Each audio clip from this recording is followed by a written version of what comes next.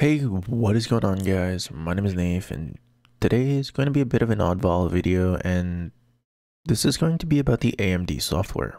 The specifically AMD, uh, I think it's called the Adrenalin. It's the newest AMD software. Um, this is not a version, this is not version specific. This is only for the versions of AMD Relive where you can actually use the um, or AMD Adrenalin where you can use the relive feature. And this has to do with people having more than one monitor. So this is this video is meant for people with more than one monitor. So it can be one TV and one monitor. It could be two monitors, three monitors, four monitors, five monitors. And this revolves around how AMD's relive capture or instant replay and recording does not capture the correct screen. So if you hit your keybinds to screenshot something, it'll screenshot the wrong screen. Um, with AMD graphics cards, well, this is the video for you. So I actually pre-recorded this, so I'm talking as this is going. So to just show you what I mean, is we're gonna start off with looking at our our AMD um, our AMD software. So it's a little bit blurry, but please bear with it. I was recording in the middle of the night. If you can see over here, this box right here, this is the instant replay feature. This is instant replay specific. Like this video will be instant replay specific. Um, so just keep that in mind. So this is instant replay right here and it's disabled. Not only that, it is also on the wrong screen. It's on the screen to my left, which if you guys don't know, wherever this window is, whatever screen this window appears on will be the screen that it records.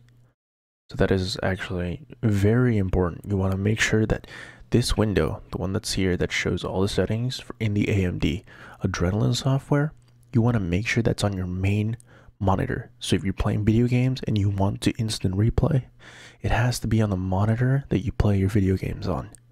Very straightforward. So we're to get on with moving on here. So I'm going to turn it on and you're going to see that it's it's instant replaying the wrong monitor. So now I'm just going to let it go. So I'm going to move the display over to my main monitor and then what I'm going to do is I'm going to turn this off. I'm going to turn the instant replay off. And I have to wait for the animation of the little text box on the top right corner of your screen where it says um where I just showed you where it's it said instant replay on. You have to wait for that text box to completely fade out. And then when you click it again, you have to you have to wait for it to turn back on. So in this in this scenario here, I'm, I'm going to turn it off. On my other screen, you're probably not going to see it. It's going to say instant replay off. So I'll just continue and I'll show you guys what I mean. So I turned it off here. So it says it it says it's it says it's off here. And then when it completely fades, I wait a second so it completely fades. And then I turn it back on and now it records or now it's going to be whatever you instant replay screenshot so on from the AMD software. It's going to be coming out from here on the main monitor the monitor it's supposed to come out of. As you guys can see instant replay on. Now I do recommend now I do recommend when you use the instant replay feature if you have a medium end to high end graphics card that supports the relive feature, I suggest going with at least 60 bitrate or whatever it says on there. 60, I believe it is. But if you can go higher, the higher the better, the more clear the image. Now keep in mind that it will strain your computer if you have a lower end graphics card that still supports it. If you go higher than 60, yes, it won't look as clear I mean, it'll look clear, but um, it'll probably lag your computer. So you want to be careful with that. You want to test it out first, and you want to make sure that wherever the recording path or wherever the path is that the uh, clips go to, by default, it should be into your videos relive drive in your C drive.